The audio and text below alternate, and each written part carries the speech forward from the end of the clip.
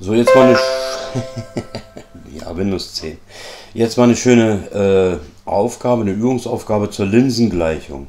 Und ich werde die dann auch noch äh, als Probe äh, mit der Newtonschen Abbildungsgleichung verbinden, also so dass wir dann sagen, wir sind richtig.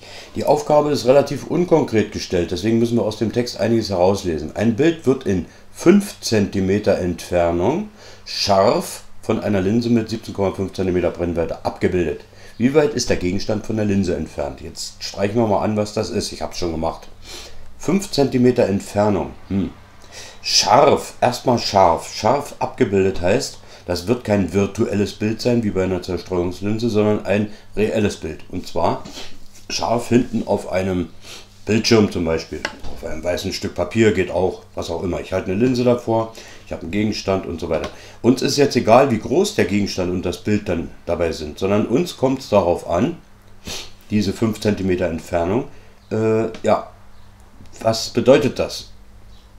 Ich kann nicht anders, ich muss sagen, das ist letzten Endes die Weite, die ich diesen Bildschirm von Brennpunkt aus entfernt halten müsst, damit das Bild scharf wird.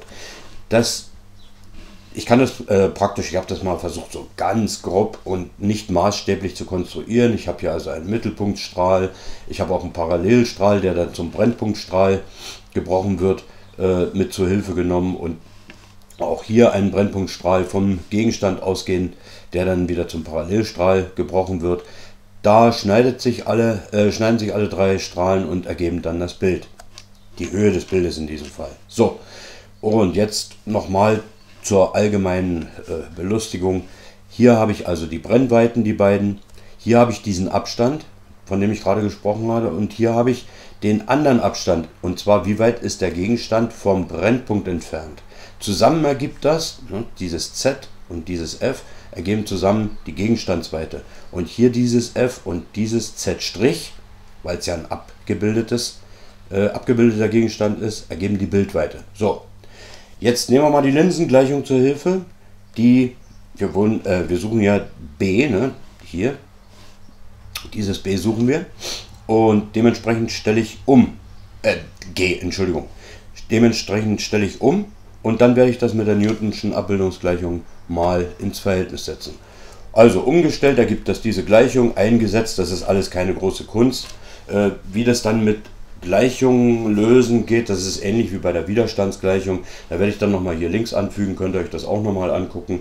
Und dass man das dann einsetzt, gleichnamig macht, wobei ich hier auf das gleichnamig machen nur insofern eingegangen bin, dass ich gesagt habe, ich multipliziere praktisch über Kreuz und sage, hier habe ich dann die 22,5 cm, hier die 17,5 cm, ne, immer über Kreuz gerechnet. Und unten bilde ich lediglich das Produkt, rechne das aber nicht aus, das lohnt sich nicht. Dann kann ich hier, weil ich ja einen gleichen Nenner habe, der sich aus 17,5 mal 22,5 Quadratzentimeter ergibt, kann ich sofort hier oben abziehen. Äh, habe meine 5 cm, das war ja Z', aber ist jetzt unwichtig, hier geht es ja lediglich um das Ausrechnen und tippe dann wie folgt ein. Bevor ich aber eintippe, überlege ich nochmal, kommt dann auch wirklich hier unten ein Zentimeter heraus? Ja, denn hier unten habe ich Quadratzentimeter stehen, hier oben Zentimeter durch Zentimeter gekürzt.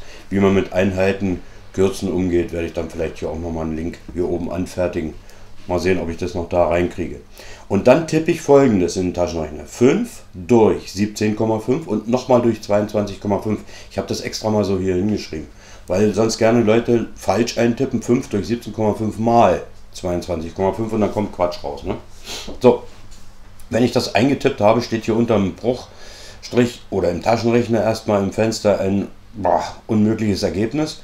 Aber mit der 1 durch x-Taste kann ich das Ganze wieder auf den Kopf stellen, sodass 1 durch x, ich sage, ich bilde von beiden Seiten das Reziproke oder ich stürze, wenn ihr den Begriff stürzen mal hört, ne? stürzen heißt beide Seiten von beiden Seiten das Reziproke bilden und dann kommen 78,75 cm als Gegenstandsweite heraus.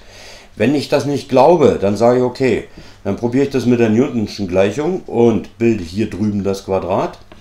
Achtung, korrekterweise schreibt man 17,5 cm in Klammern zum Quadrat, weil nämlich die 17,5 zu 306,25 und die Quad äh, Zentimeter zu Quadratzentimeter quadriert werden. Hier drüben Achtung, hier muss ich natürlich die 61,25 cm einsetzen. Warum? Die Gegenstandsweite setzt sich ja aus der, aus, äh, der Brennweite und diesem Z nochmal zusammen, sodass ich hier wirklich für echtes Z, also die 17,5 cm Brennweite nochmal abziehen muss. Nehme den ganzen Sach den Kram mal 5 cm und erhalte auf beiden Seiten das gleiche.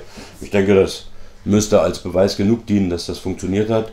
Ja, jetzt werde ich zum Schluss nochmal irgendwelche Links anfügen. Ich hoffe, das hat mal zum Verständnis beigetragen, wie man mit solchen Sachen umgeht. Gut, ich wünsche euch was Schönes. Macht's gut. Tschüss.